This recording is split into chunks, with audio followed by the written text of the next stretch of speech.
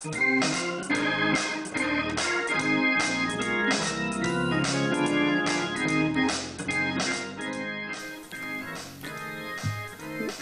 is my delight to greet all of uh, the members of the National Baptist Convention USA Incorporated, along with all of our family members and friends. I am so grateful to have this opportunity to greet you and to uh, call our convention to order in this 140th session of our convention. These are undoubtedly some very difficult times, unprecedented days. Uh, these are times that seem to test the very essence of our faith. Uh, my brothers and my sisters, in spite of all of the extenuating circumstances, I am authentically grateful to God for the privilege of being able to experience this convention uh, via the internet. It is uh, undoubtedly a new experience for National Baptist. Um, it is certainly a new experience for uh, the president, and yet I am thankful uh, that this medium of communication is available. And we have planned uh, uh, this year an abbreviated version of our convention. It is truncated, and we shall have two days. And uh, I would uh, ask that you would certainly uh, uh, pray for us and, and join us via the internet. And I encourage all of our churches uh, to be sure that you register. It is extremely important that you do so. Uh, it is extremely important that we do not forget uh, persons uh, who have suffered immensely uh, from um, hurricanes and those who have suffered immensely from the pandemic and many other ills that have assailed us. It is important that we remember those of us who are strong are to help to bear the infirmities of the weak. And so I encourage you to be mindful as you do that.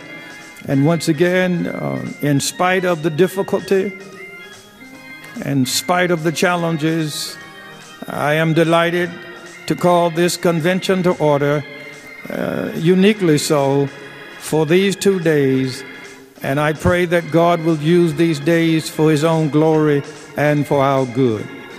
God bless you. It is my prayer, and I pray that you will indeed join us for these two days. The convention is now in order for business. Shall we pray? God of grace, God of glory, we come in the name of our Christ First of all, thanking you for our great convention and this 140th annual session. Even though it's virtual, we ask that you invoke your presence and your power and bless our time together through this social media platform. We ask blessings upon our esteemed president, Dr. Jerry Young. Thank you for his vision and his voice that speaks volume to lead our convention to higher heights. We pray blessings upon the cabinet, the auxiliary leaders, the constituents of our convention. God's touch every participant that participates in this first annual virtual session. We pray for our nation as we experience and encounter this virus and violence across the nation. God, we pray that you bring racial reconciliation among the people in this world, a world that you created in your own image. Father, we ask now blessing upon this annual session. Let this session bring glory to your name. We pray that you will be glorified and the convention will be edified. Oh, in the name of Jesus, our Christ, our Lord, our Savior, and our Master. Amen. Our scripture lesson for this hour comes from the book of Matthew, chapter 28 began reading at verse number 16. and it reads thus Then the eleven disciples went away into Galilee, into the mountain where Jesus had appointed them. And when they saw him, they worshipped him, but some departed. And Jesus came and spake unto them, saying, All power is given unto me in heaven and in earth. Go ye therefore and teach all nations, baptizing them in the name of the Father and in the name of the Son and in the name of the Holy Ghost, teaching them to observe all things wheresoever I have commanded you. And lo, I am with you always, even unto the end of the world. Amen. We have planned uh, as, as best we could uh, um, these two days, and, and hopefully they will be impactful uh, in all of our lives, and certainly we hope that they will provide information and inspiration that we may be more effective in ministry and missions uh, on, on this day. Uh, uh, we certainly will hear from our Congress uh, leadership. Um, we will indeed um, uh, hear from uh, persons who will be talking about cultivated convention, cultivated economic development. Uh, during this particular day, uh, we will hear from uh, our chaplain, and then secondly, we'll hear uh, not only from our chaplain, our memorial service, uh, and then, of course, we will be honoring our pastors who have labored for 50 years at least in ministry. Um, and then in the afternoon, of course, we will be dealing with our social justice, uh, criminal justice, and and uh, and then of course uh, on on tonight at seven o'clock, uh, our late night team will be in charge, and so we have planned a day that we hope indeed will be uh, profitable for you in terms of your spiritual walk, and hopefully you will receive again both information and inspiration. So I encourage you uh, to to stay tuned and, as it were I believe God has a blessing for you. So thank you again, and we bless God for you. And uh, please, again, keep praying for us and keep praying for our country. Hello, my brothers and sisters. I greet you in the name of our Lord and Savior Jesus Christ, and I am welcoming you to the National Baptist Convention USA Incorporated on behalf of the National Board of Evangelism. I am Dr. Leroy Hill Jr., the pastor of the Ebenezer Baptist Church of Portsmouth, Virginia. I also serve as the chairman of the Board of Evangelism, and we are grateful to God for Dr. Jerry Young for the appointment. We greet all of you, Dr. Young's staff, the executive committee, the executive board, all officers and official leaders of the parent body, auxiliaries, and commissions, and all the appointed officers of this fine convention. It is my privilege and my honor to share with you uh, the Board of Evangelism's initiative. First of all, I was privileged to serve in the state of Virginia for 13 years as the state uh, director of evangelism and still serve as a co-chair there I've served in the southeast region of the National Baptist Convention uh, with uh, uh, the former chair, uh, Dr. O.K. Patterson, and as of December, I was appointed by Dr. Jerry Young to succeed Dr. Patterson and began by attending and being installed uh, at the Midwinter Board uh, January 2020, was trained in, by our pastor, President Dr. Jerry Young, at the March uh, 2020 session.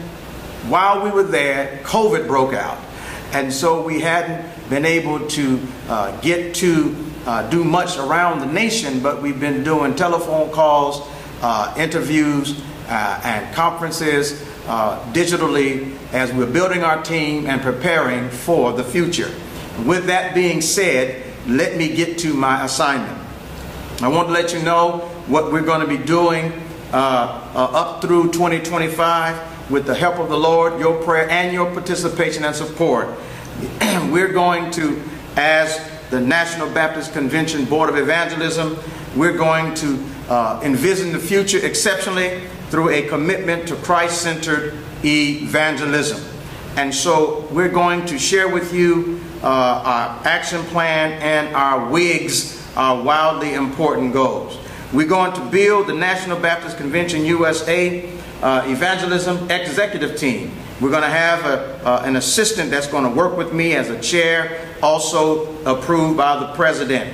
Going to build the National Baptist Convention's Evangelism Executive Team consisting of support from the parent bodies, ministry, and auxiliaries, uh, and, and, and supporting uh, our commissions in Congress with people from our board and your board helping to grow together as liaisons for their entity.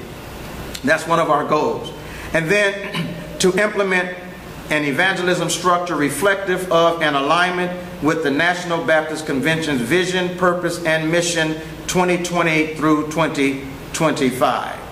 We want to develop and implement curriculum and strategies using social media and web-based technology as effective ways to train for evangelism and discipleship and meeting regionally and meetings regionally and nationally. Also, as we envision the future exceptionally through a commitment to Christ-centered evangelism, we want to develop the National Baptist Convention's regional evangelism teams to host evangelism training for churches in their region, state conventions, as well as their associations. We also want to utilize our convention's evangelist, Dr. Manuel Scott Jr., in that process. Also, we want to partner with church health and church planting re research agencies for relevant best practice methodologies for 21st century church planting, for churches and the convention to equip potential church planters to plant healthy churches regionally and nationally through our new church planting arm of the Board of Evangelism. We want to partner with the Home and Foreign Missions Board to broaden the fellowship to, and outreach for missions and evangelism through missions opportunities globally. And then finally, we want to plan and host uh, National Baptist Convention national and regional evangelism workshops annually to coincide with the annual evangelism weekend that has been established by our predecessor, uh, Dr. O.K. Patterson. Now, speaking of that, uh, our theme for the department, our theme for our ministry is doing evangelism exceptionally as we take a page and a piece of our president's focus for uh, 2020 through 2025. And so let's share that with you. First of all, we want the NBC of National Baptist Convention to also mean new baptisms continuously. We want to be baptizing new converts as we reach lost souls for Jesus Christ. We also want the NBC to stand for New Baptist Churches annually. We want to grow and increase by planting churches around our country, winning souls, baptizing souls, training the body, and planting churches for the kingdom of God. We have some very important WIGs, wildly important goals that we want to achieve and we're aiming for by 2025. First WIG is that we will share the gospel with 14 million unchurched people by 2025. How do we plan to do this? Every church member shares the gospel with at least two persons, therefore doubling the number of its current membership by reaching the unchurched people in their communities, resulting in a 15% increase of membership equaling uh, approximately 1 million new baptisms. That's good news.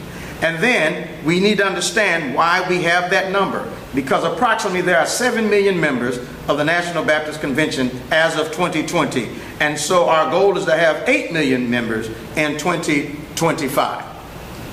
We have a second WIG through our commitment to Christ-centered evangelism. we will increase its member churches by 10% by 2025. As of right now, the National Baptist Convention and the Board of, Edu- uh, Christian, Board of Evangelism, excuse me, will conduct church planning workshops, multi-site church development for rapidly growing congregations, as well as recruiting potential churches through evangelism trainings, therefore resulting in a 10% increase in the National Baptist Convention member churches. Now, there's approximately 33,000 churches uh, currently, uh, but our goal is to have 36,300 churches 2025. With goal number three, our tools and training. And having said that, I want to just move into what that looks like. And so, one of our trainings, as you have noticed, uh, uh, the Great Commission lifestyle. And we're just going to read through it, don't have time to teach it, but you can kind of see what our training sessions will look like every time somebody comes to one of our sessions during our annual sessions and our midwinter sessions. And so, uh, this one is on the Great Commission as a lifestyle, how we ought to live, everybody.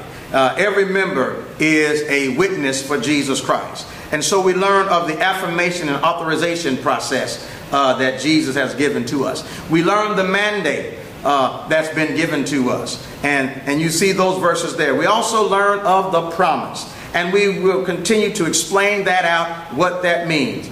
And then we'll break it into different points affirmation and authority, what that looks like when we, uh, as a church, working together to build the body of Christ, as we practice in affirmation, as we work in worship, we listen to the word, we go out and witness, and we work uh, at, while it is day because night coming, no one can work. That's affirmation. And then we have affirmation power or authority. And that's because we are considered the light of the world. Amen. He has called us light, so we must be the light. And then we live by the J power or the Jesus power of the Holy Spirit who gives us our authority to do what we've been called to do. And so that's affirmation and power. But as we still follow the mandate, the Great Commission, of course, we've been told to go.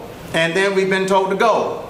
And then we've been told to go and be told to go, go and go some more. You see, we are a going people as New Testament Great Commission churches. And so our mandate is to go, not be attractive, but go and attract and then bring to the fold. Amen. And so, as we continue the mandate, we are to make disciples after going to reach we are to identify them with Jesus as Savior. That means present the gospel. They become saved. They identify with Jesus as Savior and Lord and is baptized. Uh, then they follow the Lord in obedience.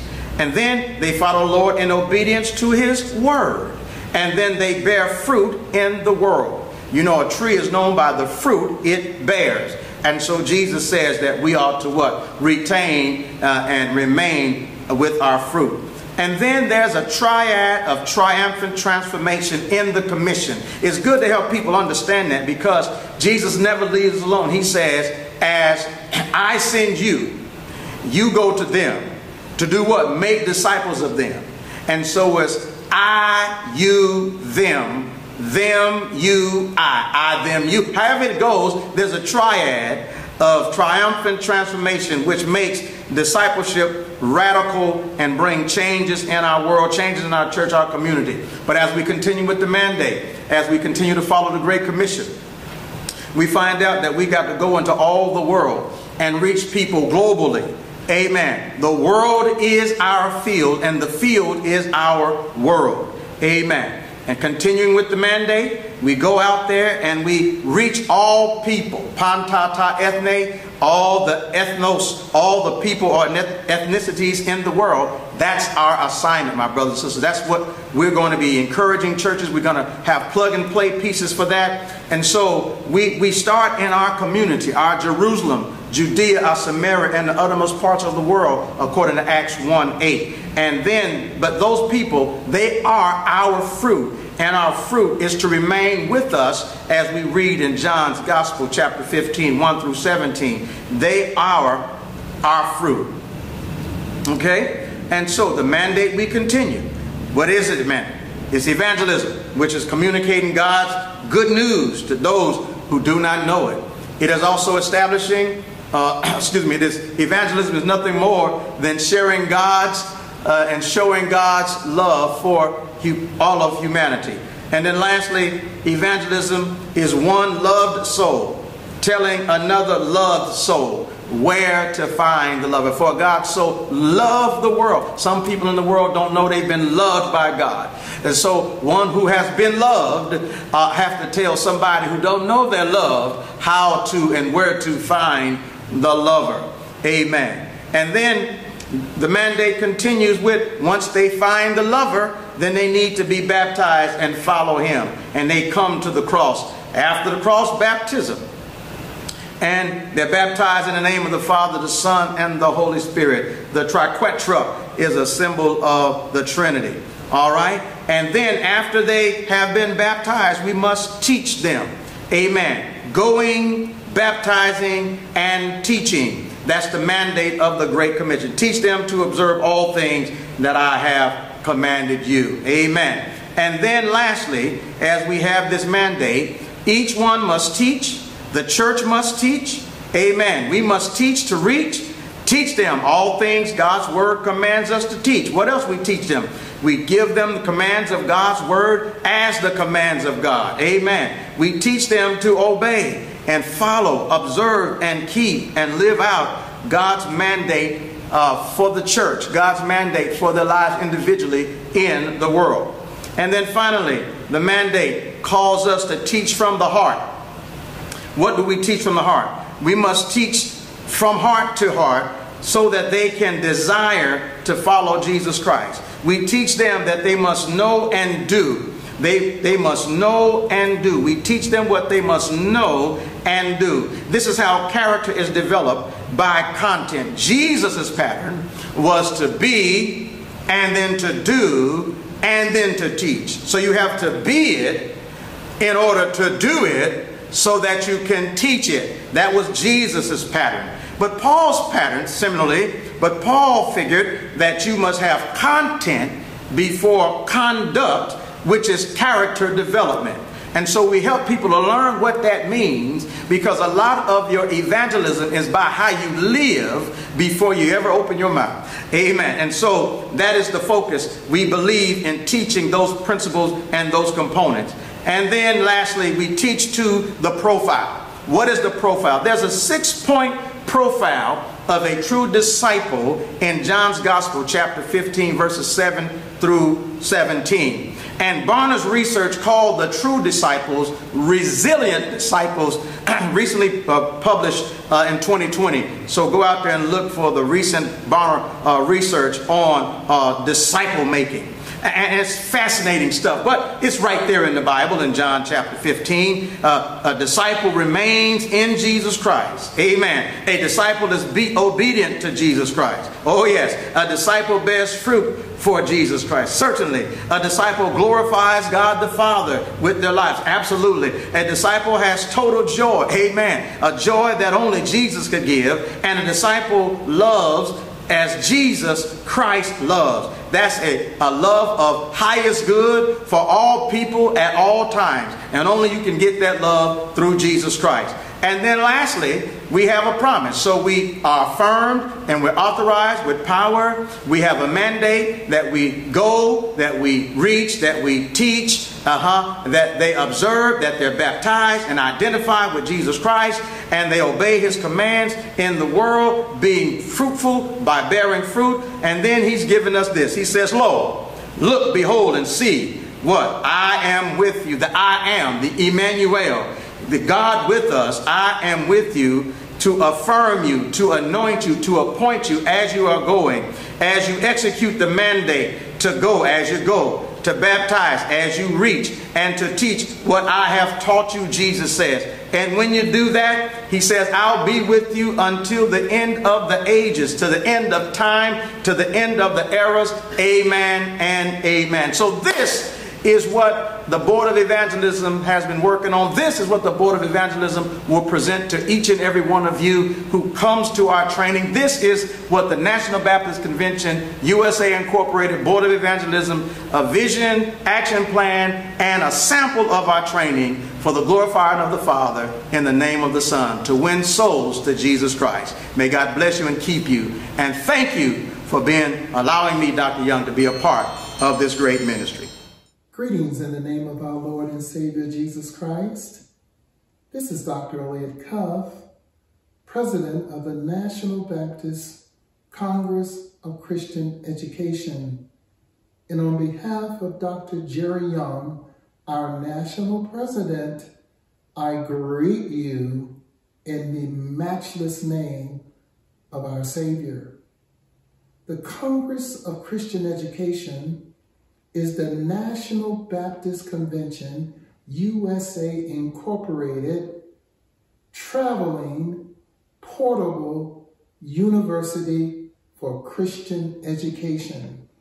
Annually, the Congress is moved around America and we offer over 300 courses covering an array of Bible, church, theology, administration, Sunday school, young people, children, young adults, millennials.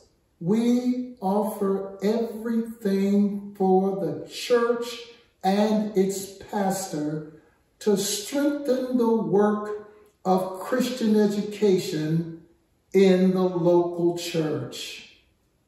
We are proud to have some of the best Christian education instructors in the world as a part of our award-winning faculty. We are thankful that in the Congress of Christian Education, we are multi-generational in scope without losing our relevancy nor our impact as agents of the scriptures to everyone in the world. We are an auxiliary that is on the move in this generation. We care about all of our young people in the convention. We offer annually a oratorical contest where young people from local churches participate in state and in district competition and they are, winners are brought to the annual session and we award them prizes that they might continue their excellence in education. We also have annually a children's rally, a youth rally, and an IROC gathering of young adults and millennials.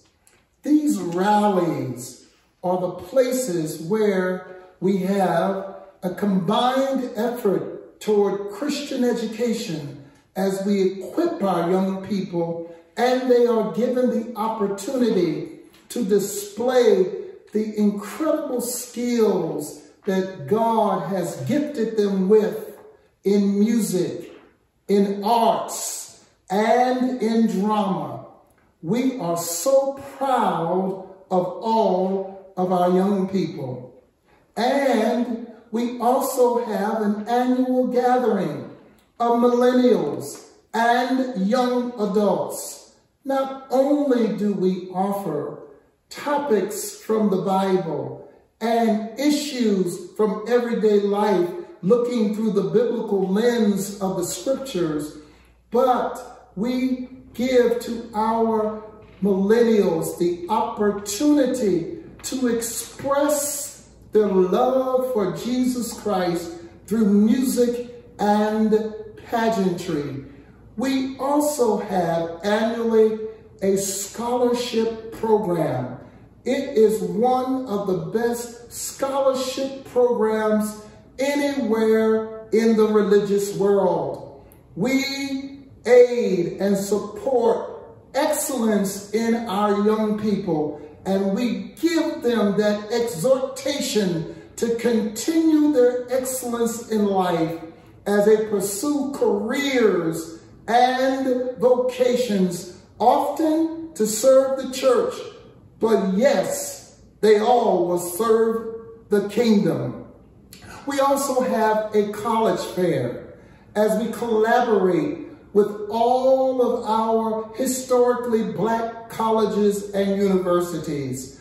We invite them to be at the annual Congress so that our young people may have the opportunity to talk with representatives of these wonderful schools of learning and get the chance to have a face-to-face with a counselor or a dean from a campus who can share with them about what is ahead in life should they choose to attend one of the historically black colleges and universities. We are a Congress of Christian education that's on the move. During the pandemic, we did not completely shut down our efforts on equipping the disciples. We here at the Congress, under the direction and support of our national president, Dr. Jerry Young, we collaborated with the Technology Commission under the leadership of Dr. Alvin Love, and we launched Digiversity, an online opportunity to equip the saints in the National Baptist Convention USA Incorporated. Our first launch was quite a success, and we're looking now for Dean Carl Washington to continue forward with the Digiversity because we're not going to panic during the pandemic we shall persevere and pursue excellence in Christian education. We are here as the National Baptist Congress of Christian Education to support the vision of our esteemed and beloved leader, Dr. Jerry Young. And Dr. Young has said to us, and we have bought in 100% that we are envisioning the future exceptionally as we glorify God through Christ-centered evangelism. We want to invite you to give us a try if you have never come to an annual Congress. It will be the experience of a lifetime. Again, this is Dr. Elliot Cuff, President of the National Baptist Congress of Christian Education, and we hope to see you real soon in one of our many, many courses. God bless you. Dr. Jerry Young, our illustrious president, to President of our Congress of Christian Education, Dr. Elliott Cuff, to all of the officers and auxiliary presidents of the National Baptist Convention, USA Incorporated. I bring you greetings as Dean of your Congress. I'm the Reverend Dr. Carlyle Washington Jr. I'm now serving as Dean of the Congress of Christian Education. Dr. Young asked us to bring some words to you as to the vision he has in store for us as we look forward to move Christian education to a different plateau. Our life is exposed to God's inspection. And so is our Department of Christian Education. We ought to spring forth with sincere and serious matters as it relates to Christian education. And so, as we have launched digiversity um, during this COVID season. We are looking to um, change curriculum as we move forward in our convention to make our convention more viable to the situations that present themselves in our society. We want education to move us in a way that God will be pleased. And we want education to move us so that one generation can see what the last generation saw. And so, uh, Christian Education Ministry of the National Baptist Convention USA Incorporated is moving and looking forward to doing great things in the future. We plan on meeting you in Orlando, Florida in June of 2021 and giving you a Congress that will be worth coming for. May God bless you, may God keep you, is our prayer.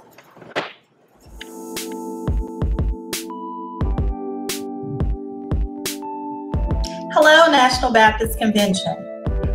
Thank you once again for inviting Liberty Bank and Trust Company to be a part of your annual meeting. It does look a little different this year as we are a part of the virtual world now, but I am sure it is going to be just as impactful as it has been in years past. Liberty Bank and Trust Company is in partnership with the National Baptist Convention to provide an affinity credit card program for the members of National Baptist.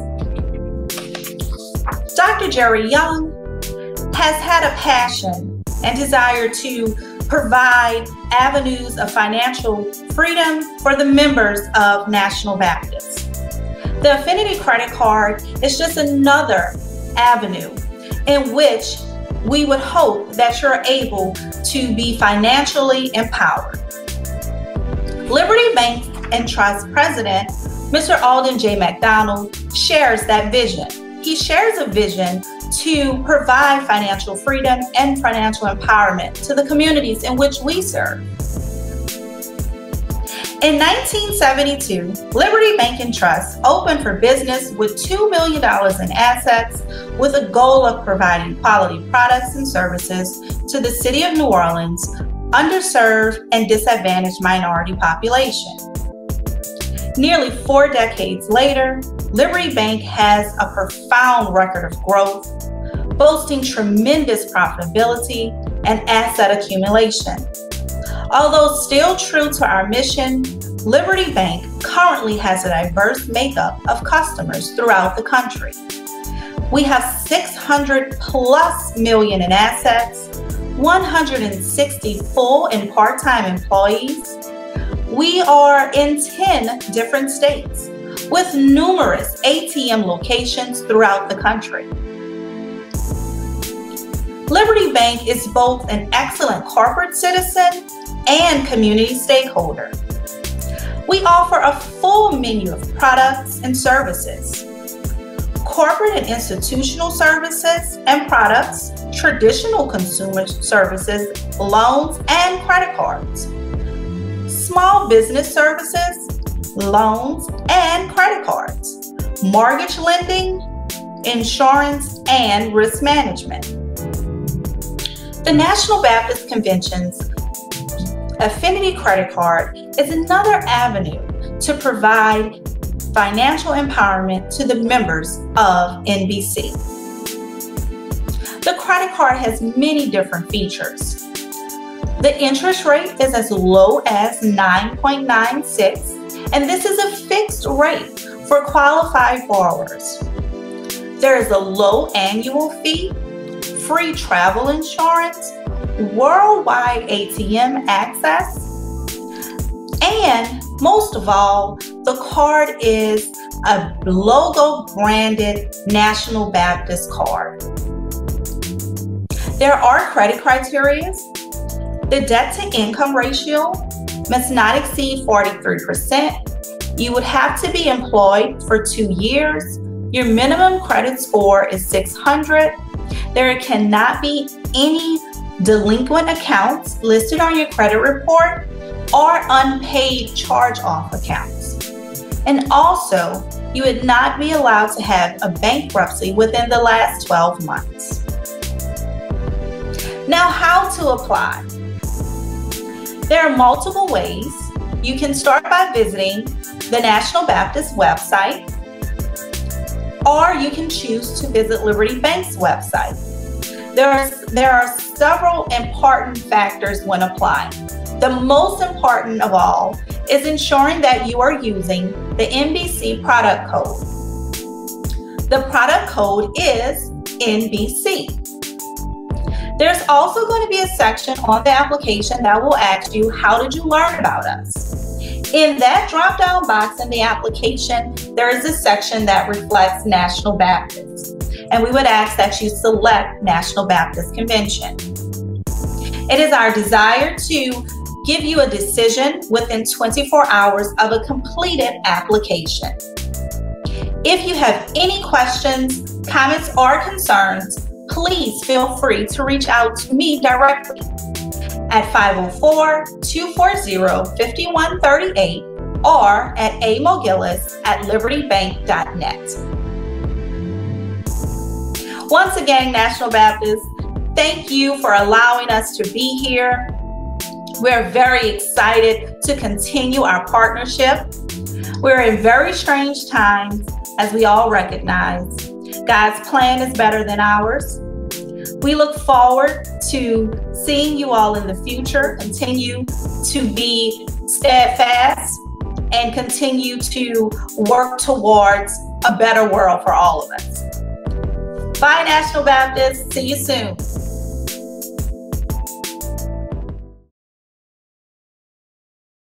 MMBB is the best friend a young pastor can have. When you're young, you have this idea that you're invincible. I mean, that the way things are, they're going to always be that way. And, uh, and you really got it going on. But I want to tell you that just as sure as we are all living, there are circumstances and situations that are inevitable in life. I've seen the horror, really, of people coming to a certain place in life where they ought to be comfortable and they ought to be secure and they ought to be free to worship and to serve God in so many ways, and they can't because there was no financial planning. I'm going to tell you, I, I've seen it. And that's why I'm so committed to making this happen. And I'm so committed to making sure that young pastors understand this so that in the event that there are incidents in your life along the way, guess what? MMBB st steps right in.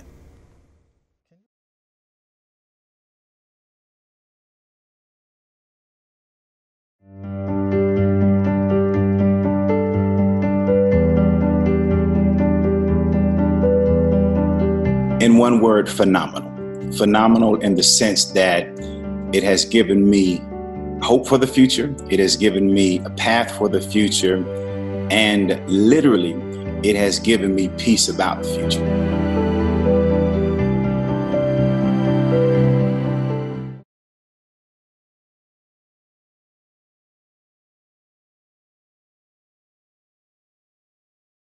As Christians, we know change is central to our faith. A life rooted in Christ is a transformed life that seeks to love and serve God with all of our hearts, minds, and souls, and to love our neighbors as we love ourselves. The God we serve is both constant and enduring, and yet God is also the master and the mastermind of creative change.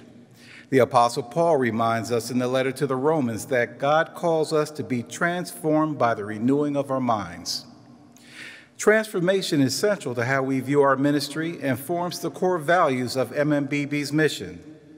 Over the course of serving our members, we have learned that when you acquire the tools that unlock the path to financial wellness, it leads to a transformed mindset, a transformed sense of renewed possibility, and most importantly, it leads to an altered perspective on your ability to implement and sustain well being over the long term of your financial affairs. But lasting transformation happens because of specific steps that are taken. So, what are these steps for transforming lives in 2019? At MMBB, it means that we meet our members where they are and to help them forgive themselves and make peace with past financial decisions they may regret. Because each person's financial circumstances are different, we seek to discern the right questions to ask so we can guide them in outline, uh, outlining their goals, determining the steps to reach those goals, and building a holistic vision for their financial futures. We know that some changes will mean short term sacrifice to achieve long term security. That requires us to help members develop increased confidence in their ability to make tough decisions and commit to the steps needed for lasting change. Together, we develop a roadmap for transformation that is realistic, doable, and yields some immediate wins that will foster continued excitement about what is possible. And finally, we never forget that God is on the journey with us, members and staff together.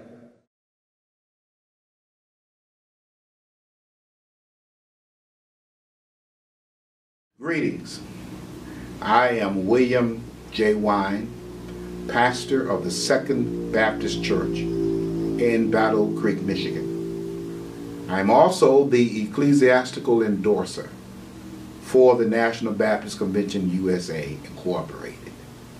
For decades and decades, the Pastoral Care Chaplains Auxiliary has served as a valuable and vital auxiliary to the denomination. We are responsible in this auxiliary, and as the ecclesiastical endorser, I am responsible for endorsing all of the National Baptist chaplains. We have chaplains in the military. As a matter of fact, we have National Baptist chaplains who are serving in all four branches of the military. By the way, let me thank those chaplains who are providing spiritual support and providing undergirding support to families and soldiers who are serving our country. Thank you for your commitment to ministry and thank you for your service to this country. Our military chaplains are required by the military to have letters of endorsement by their denomination. The letter of endorsement provides two specific things for the military chaplains. Number one, it affirms their connection to the denomination in which they represent. Number two, it brings association to those chaplains, to other chaplains from various other ministries of this work. We also provide letters of endorsements to persons who are interested in becoming military chaplains. The military requires those persons who are entering that chaplaincy program to have letters of endorsement indicating that they too are connected and committed to the denomination in which they represent. So we do provide letters of endorsement to military chaplains, but we also provide letters of endorsement to our civilian chaplains. Again, we are blessed in this convention to have civilian chaplains who are serving God in ministry in various venues of ministry. We have chaplains serving in the correctional facilities, both federal as well as state. We have chaplains in the clinical context, serving as chaplains in hospitals and nursing homes. We also have chaplains serving in the new field of chaplaincy which we call the marketplace, in the workplace. So we are providing endorsement for our civilian chaplains as well. Also, we provide endorsement for our civilian chaplains to the APC. The APC is the Association of Professional Chaplains. When Protestant chaplains are seeking certification, the APC is the highest accrediting body in the United States that certifies a chaplain for board certification or certifies that chaplain in a specialized training area. We provide those letters of endorsement to those chaplains to the APC to assure the APC that those persons we endorse are connected to the National Baptist Convention in terms of being members in good standing. But perhaps one of our greatest highlights and our greatest celebration takes place during the annual Congress of Christian Education, which takes place in June. It is during that week that our chaplains, both military and civilians, come together under the roof of education. And during that week, we provide for them sessions that informs them, inspires them, and encourages them. These are sessions that brings to those chaplains tools and techniques that they may find applicable in their various places of ministry. We provide speakers who are experts in the field so that all of our chaplains are learning from each other as well as learning from those who are the experts in the field. So I am very grateful that I have the privilege to serve as the ecclesiastical endorser for the National Baptist Convention. But let me assure you that I could not provide that week that we call Professional Development Institute. During that week where we have these sessions, I could not provide the Professional Development Institute without the aid of some very competent, caring leaders who serve as my leadership team. Let me take a moment and allow them to introduce you to the team that helps me provide a week of information, inspiration, and encouragement. Please take a moment as they introduce themselves to you. I am Dr. Kendall D. Jones, Senior Senior Pastor of New Bethel Baptist Church of Winston-Salem. I've been a board certified chaplain for more than 24 years. I am a member of the leadership team of the Pastoral Care Chaplain Auxiliary of the National Baptist Convention USA, Inc. Hello, I am Chaplain Lieutenant Colonel Stephen T. Dabbs. I am a head chaplain here at Altus Air Force Base, Oklahoma, and I have the pleasure of speaking to you from my office. Uh, it is my delight to join Dr. Wine in his service to our leaders and chaplains in the National Baptist Convention, and it is my pleasure also to represent our convention, our president, and our endorser. Thank you. I am Tammy Briggs, and I serve as a chaplain in the United States Army, presently at Fort Rucker, Alabama. I am a member of the leadership team and the pastoral care and chaplain auxiliary of the National Baptist Convention USA Incorporated. I am Marlon G. Three, and I serve as the chaplain for the Texas Department of Criminal Justice. Currently, I am the chaplain for the Hilltop Unit and the Woodman State Jail. I am a member of the leadership team of the Pastoral Care and Chaplain Auxiliary for the National Baptist Convention, USA Incorporated. I am Chaplain Mary V. Camp, a member of the Second Baptist Church, Las Vegas, Nevada, where the Reverend Clayton D. Moore serves as pastor. I also serve as chaplain at Messages of Faith Ministries, West Care, Veterans Advocacy of Nevada, and Nevada Chaplaincy. I am a member of the leadership team of the Pastoral Care Chaplain Auxiliary of the National Baptist Convention, USA Incorporated. The scripture says in Revelation, Blessed are those who die in the Lord. They shall rest from their labor, and their deeds shall follow them. There are those who walked with us in this National Baptist Convention who no longer walk with us now, but yet their deeds will always live with us. I invite you now to join the Pastoral Care Auxiliary as we take time to reflect and to remember those who are no longer with us. We pause now to reflect and to remember those who are part of our National Baptist Convention USA Inc., those who have labored faithfully among us, and now they have been called from labor to reward.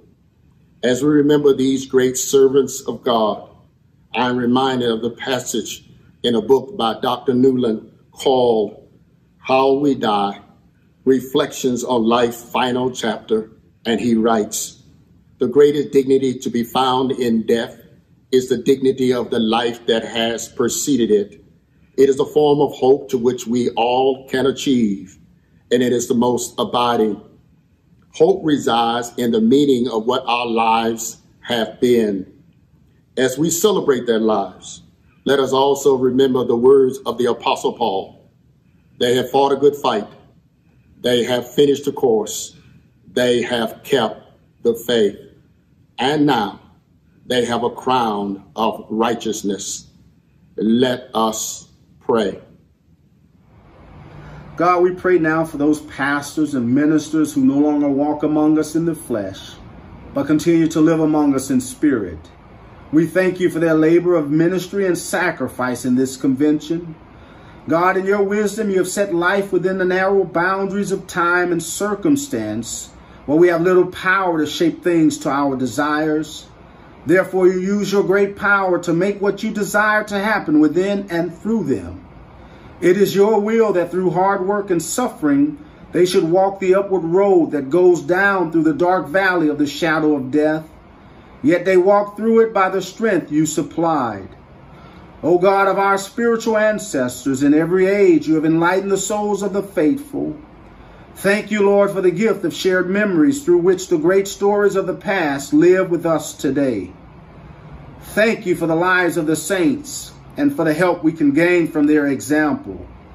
Thank you for the memory of pastors and ministers who no longer walk among us, but whose feet have left footprints of faith. Shoulders have secured platforms for us to stand on.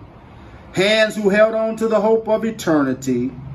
Hearts hung on the halls of heaven, who now live beyond the tension of the already but not yet able to see and hear the voice of victory that reminds them how they made it over. It was only possible because of NBC. Nothing but Christ. Nothing but Christ can afford the pastors and ministers of the past and present access through the gateway that leads to everlasting freedom, liberty, and justice for all, both now and forevermore. Loving and wonderful God, the God of Sarah, the God of Rebecca, and the God of Rachel. We pray now for those faithful women of the National Baptist Convention USA Incorporated, whose voices are now, are now silent, but whose virtues remain with us. We thank you, Lord, for the women in leadership, past, present, and future. Thank you for Sarah Layten. Thank you, Lord, for Nannie Helen Burroughs for Mary O. Ross. Thank you, Lord, for Cynthia Ray and Rosa B. Cooper.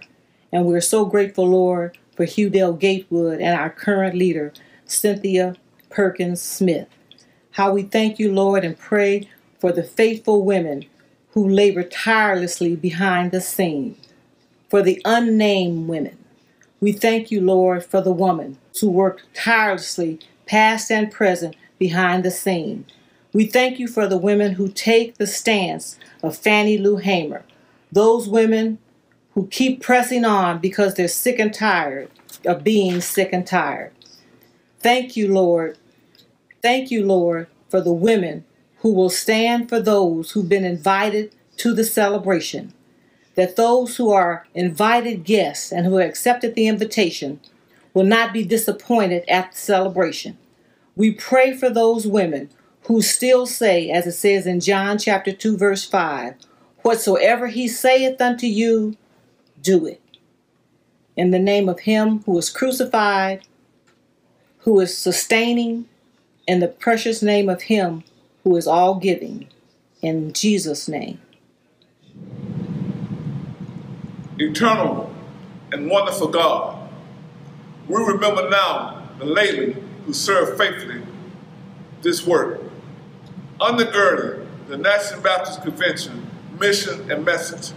Father, we just come, ask you continue to let the torch burn with the labors of this convention. As they go to and fro, Father, evangelize to those that are lost, Father. Father, ask you strengthen them, order their steps, Father, and be the light to their path. Father, we ask now that you continue to smile upon this convention, the National Baptist USA Incorporated. We love you and we need you right now. In Jesus' name. Lord, we ask that you give comfort to those families and friends who may continue to mourn and grieve the absence of those they love. Again, we thank you for all of those who served as servants of this convention and their local church. And Lord, as you spoke to Mary and Martha at the death of Lazarus, you said, I am the resurrection and the life.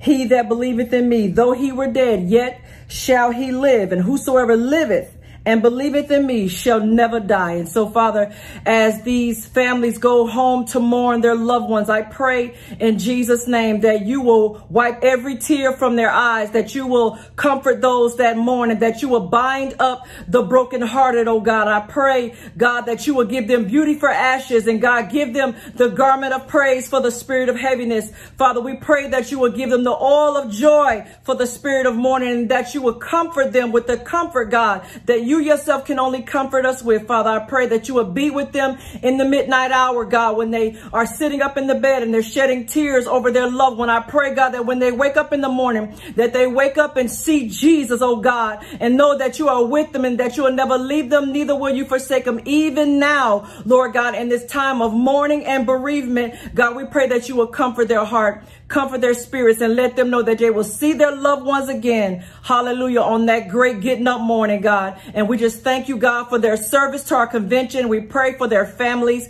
and we pray, God, that you will, that they will hear also, well done, thy good and faithful servant. do pray. Amen. Amen. Amen. Amen. Amen. Amen. Amen. On behalf of the pastoral care auxiliary, the chaplains of the National Baptist Convention, I want to thank you for taking time to hear who we are and perhaps get an understanding of what we do.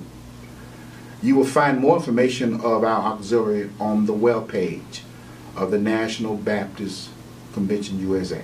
If you have any questions, please feel free to call my office at 269-963-4640. Or you can email us at smbcnational at gmail.com.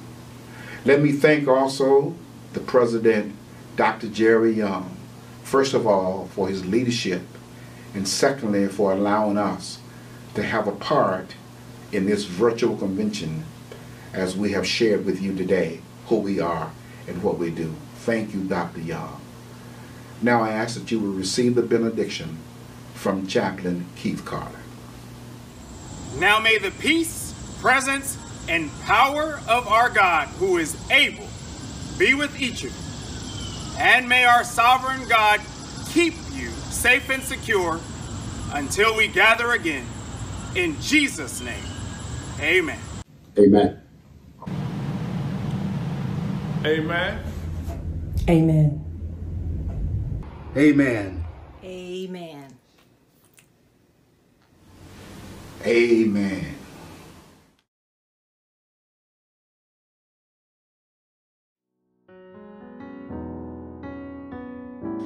I can say that you're wonderful, but it doesn't seem good enough. I can say that you're kind, but that would miss the mark. I can say that you're beautiful, but to me, you are so much more. How do I communicate exactly who you are? I'm trying to convey the sentiments of my heart and say, I really do appreciate the way you brighten up my day. Oh, yeah. I can't find the words to describe you. It would take a million years to explain the way I feel. You are the epitome of everything I'll ever need. I'm so in awe of you. Lord, you leave me speechless.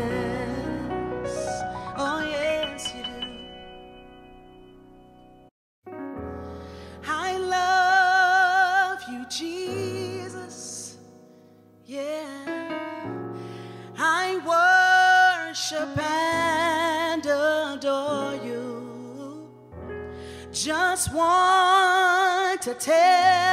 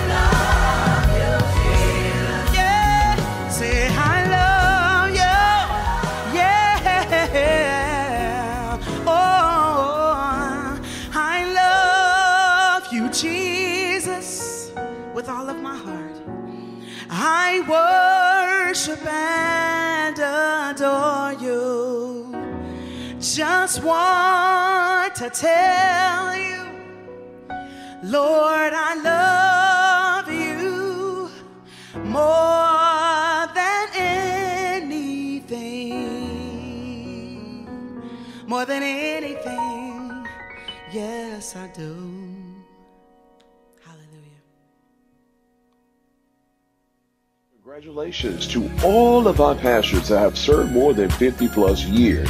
We honor you today. We celebrate you for your faithful service in the Lord's vineyard.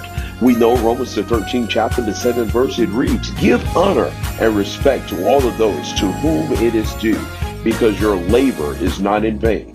On behalf of our president, Dr. Jerry Young, and our General Secretary, Dr. Evan Everett, and the National Baptist Convention. We encourage you with these words from 1 Corinthians, the 15th chapter and the 58th verse. It reads, Therefore, my beloved brethren, be steadfast, unmovable, always abounding in the work of the Lord, for as much as ye know that your labor is not in vain in the Lord.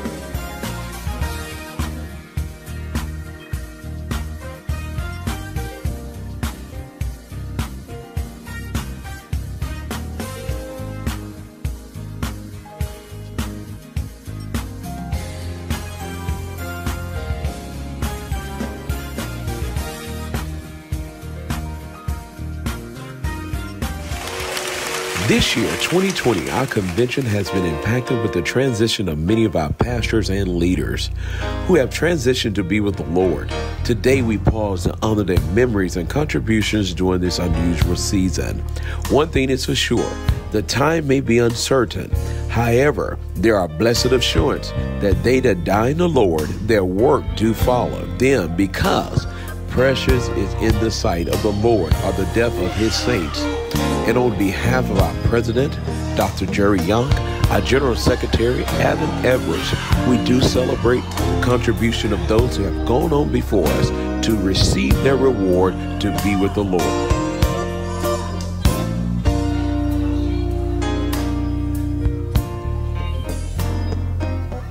I'm free.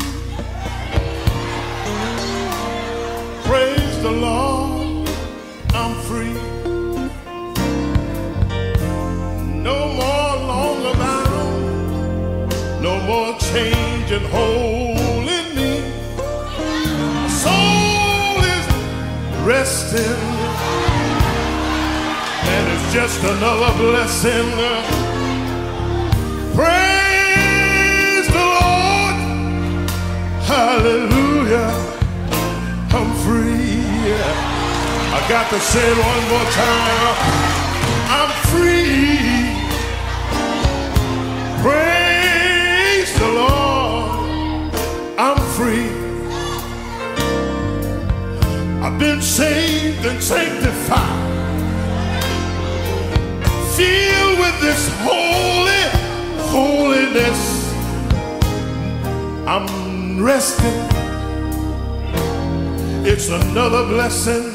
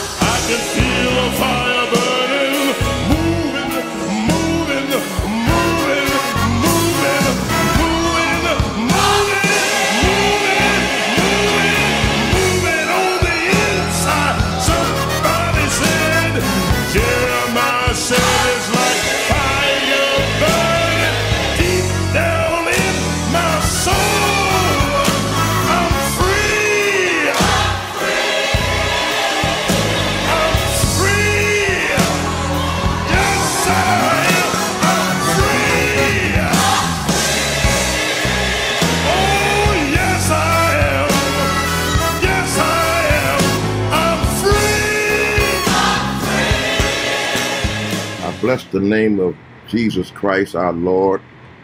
I have more than a crush on the Christ. I have a robust romance with the Redeemer, and I'm not ashamed to own him this afternoon.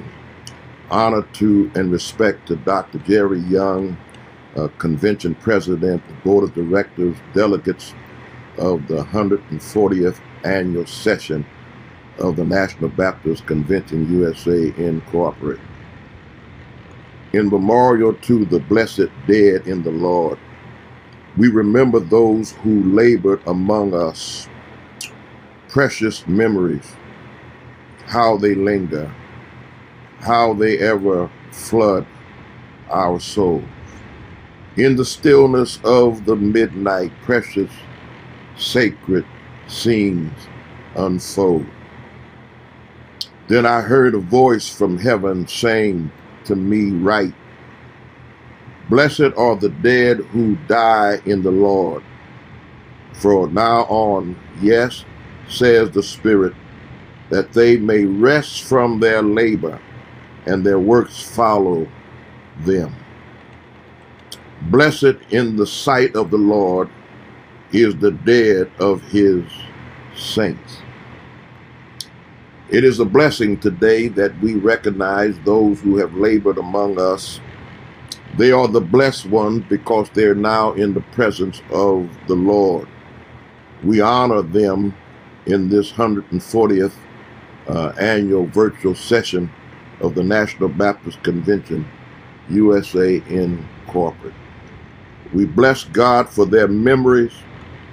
Yea, though I walk through the valley of the shadows of death, I will fear no evil, for you are with me, your rod, your staff, they comfort me. We often look at the 23rd Psalm, verse 4, as walking through the valley as an epoch in time, as a period in time that we walk in that valley. But I want to suggest to you this afternoon uh, that life is lived from, from the cradle to the grave in that valley. We live in the valley of the shadow of death. It's not an epoch in time. It's not a period in time. It's not a time that comes every now and then. Perhaps David was saying this in the midst of his trials. His son was after him, Saul was after him, and he was often uh, confronted with death. But I believe that life since the fall of Adam is lived in that shadow of death. I believe for the believer it is a shadow because Jesus on Calvary took the sting out of death. Death has no terror. It's no terror on the believer because the believer uh, is the recipient of what Jesus did 2,000 years ago uh, when he went to Calvary. He assassinated death there. He took the sting out of it. He took the terror out of it. And he made it a shadow. Uh, that which cannot hurt us, that which cannot impede us and we honor those who have labored among us, who now have gone through that valley, and it was no more than a shadow for them. It was no more than a sting for them uh, because he took the sting out of that, which would be a, a terror to them. Uh, and we are honored and blessed because of those who uh, we honor today who are no longer with us. They are comforted.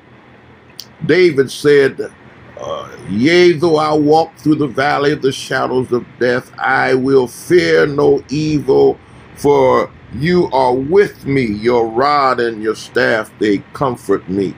Uh, in David's situation, he was comforted by that which followed.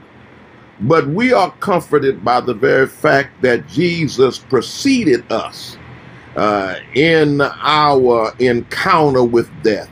And on that cross, he took the power of the sting out of death. He assassinated death on that cross.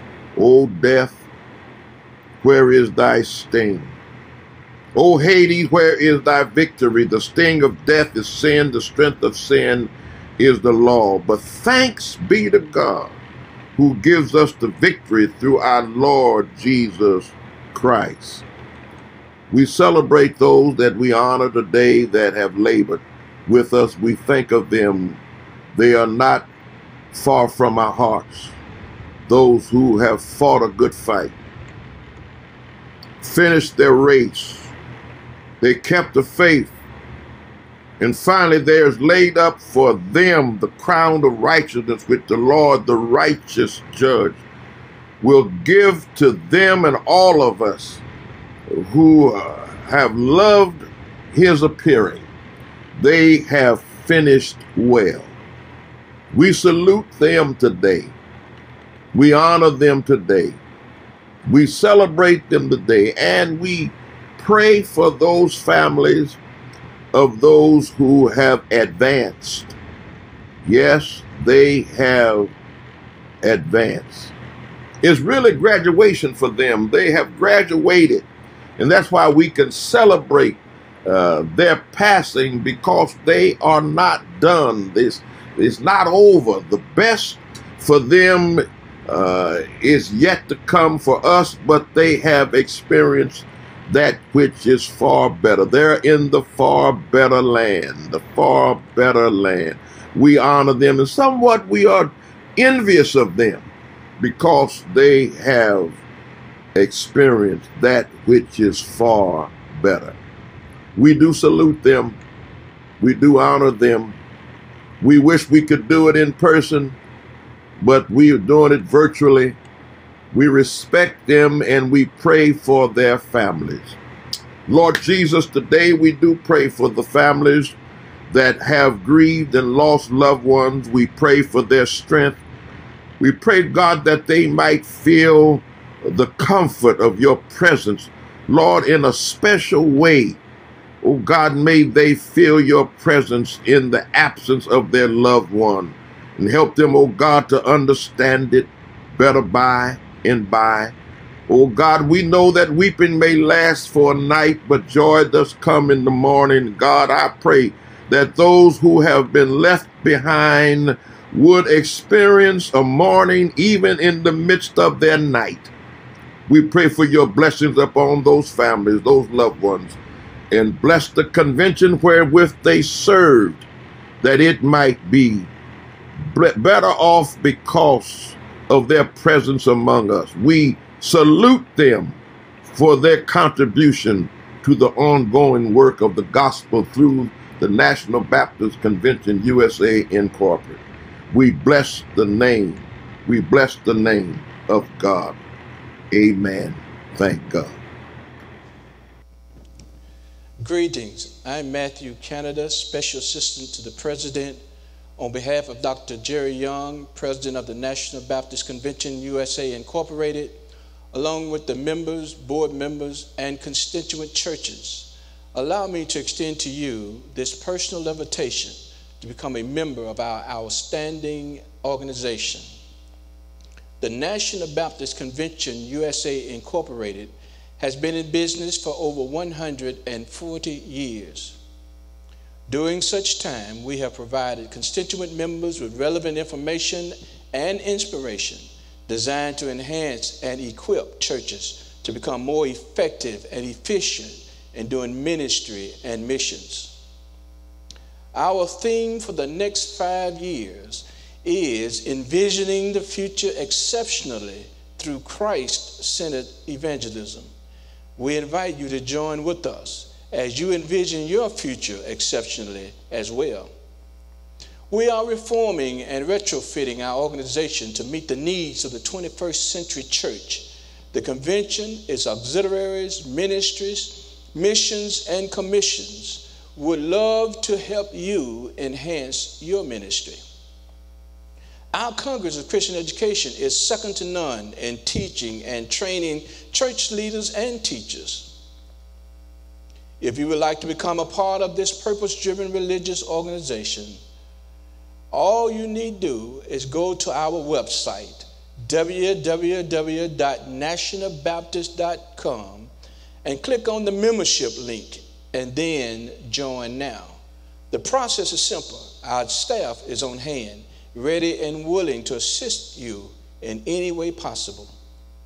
Thank you for your interest and we look forward to welcoming you into our National Baptist family. God bless. Thank you again so much for joining us uh, uh, on this Monday uh, for the first of two days of our truncated convention session this year. Uh, allow me to thank persons who have been intricately involved in this process uh, to have helped us tremendously. I owe them so many, so many thanks. And certainly I want to thank Anita Wilson for coming. Uh, as always, uh, she blessed us immensely, and we thank God for her and for her relationship with our convention. Once again, thank all of you for your participation, and thank all of you for having tuned in. And uh, it is our prayer that you will join us again, uh, uh, as it were, on this evening uh, tonight and then again on Tuesday. God bless.